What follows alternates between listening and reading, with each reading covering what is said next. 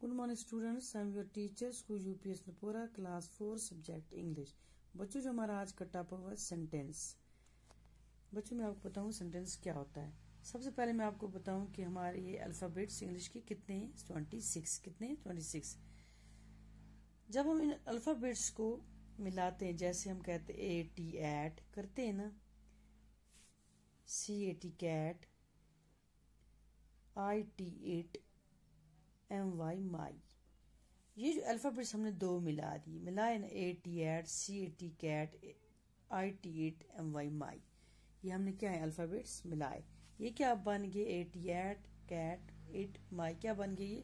Words کیا بنے؟ یہ وورڈس جب ہم وورڈس کو ملاتے ہیں، جب ووٹس ملتے ہیں، پھر بنتا ہے سینٹینس کیا بنتا ہے؟ سینٹینس جیسے this is a book it is my pen I go to school یہ کیا بن گیا سنٹینس بہت سارے ورڈز کو ملا کر کیا بنتا ہے sentence sentence is a group of words which make complete sense جو پورے معنی دیتا ہے.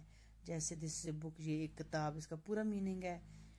I am a girl I go to school all sentence begin in capital letters ہمیشہ جب سینٹینس سٹارٹ کرو، سب سے پہلے کیا لکھو؟ کیپٹل حرف. They end with a full stop end پر کیا لکھنا ہے بچوں؟ فل سٹاف ڈالنا ہے.